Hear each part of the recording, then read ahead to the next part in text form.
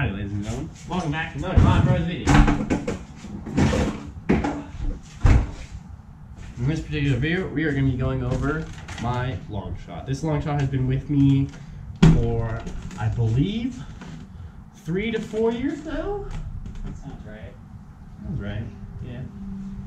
About three, three and a half years now, and it has been used to be my workhorse blaster, but then I started building more recons and alpha troopers, and so it's gotten a little bit less time in the light from it, but I still want to make a video about it because I definitely think it's very cool of a build. This blaster's seen multiple different shells that I've gone through, finally settled on a nice yellow N-Strike long shot shell because it's my favorite. It's personally my favorite besides the crimson one, but uh, I don't got a crimson long shot. Probably never will either.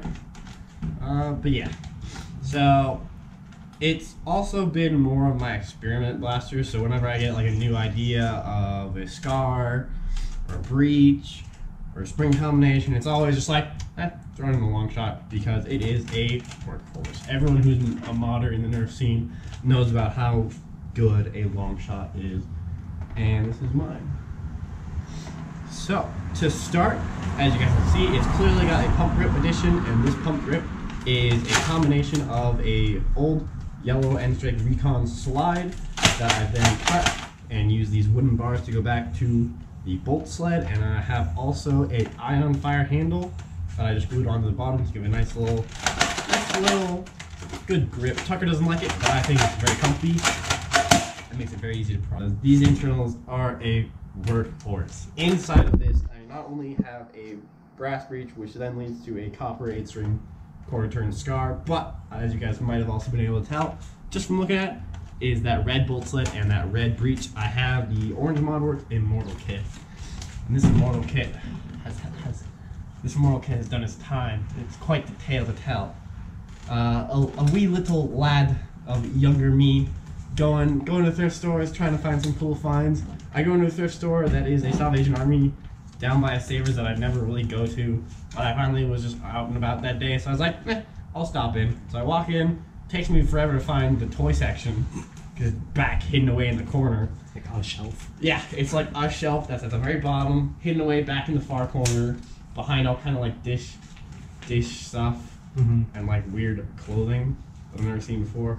But finally, I find it. I'm looking through. They have like three bins, and I'm looking through it, and I see out of the back, I see a long shot stock sticking out, and I'm like, oh, hey, a long shot. That's kind of cool. And as I grab it out of the bin, I see those giant red handles that come with the Immortal kit because they have the expanded uh, priming rods out of it. And I'm like, that doesn't look like a normal long shot. And then as I pull it out, I look inside and I'm able to see the Orange Modworks logo that you guys probably can't see, but it's right there on the breech. Nice little Orange Modworks logo. And then it hits me. Oh my god, this is an Orange kit.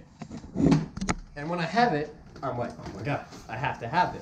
And so I start fiddling with it, but it won't prime for some reason. It won't even go back.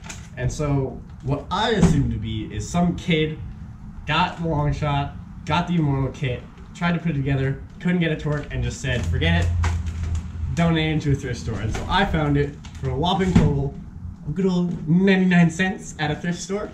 Way cheaper than it initially came out for, and I love it to death. It was the first blaster that I got to hit 200 FPS. It's the first blaster that I started making brass breeches for, and it rocks. This thing hits so hard. And I love it. The spring combination is around 10 kg springs because I have a combination of, I think, three right now that give me a really nice spring combination. The prime, guys saw it there, the prime is buttery smooth. There's like no resistance whatsoever. There's a resistance now because it's dark. But yeah, it's so smooth of a breech. And it feeds really well from mag. It will feed full lengths and half lengths. So I've got two elites in this mag. Close it up.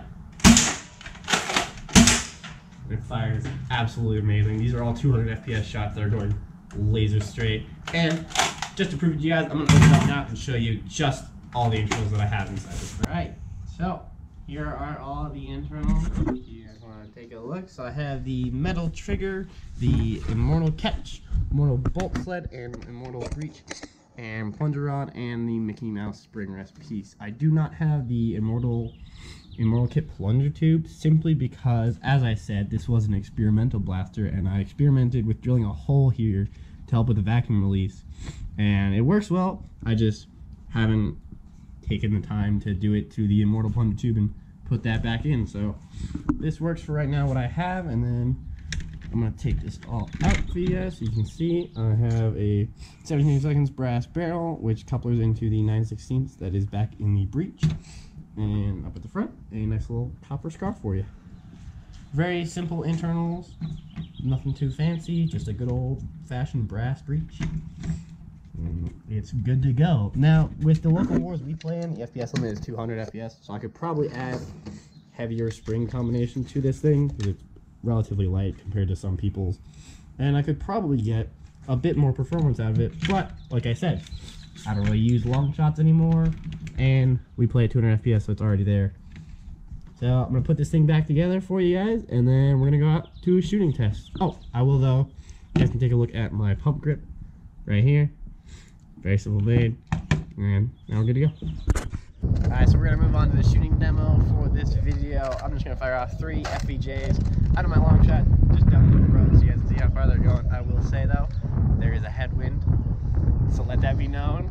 If we're comparing range performance between Tucker's long shot and my long shot, I'm firing up wind, alright? uh, did, you, did you do an angle for your long shot? Very slight. Very slight? Alright, we're gonna give it a slight angle then. Just uh, fire it on there. Straight. Yeah. dude. I say they might be curving just a little bit to the right because that's where the wind is going. Mm-hmm.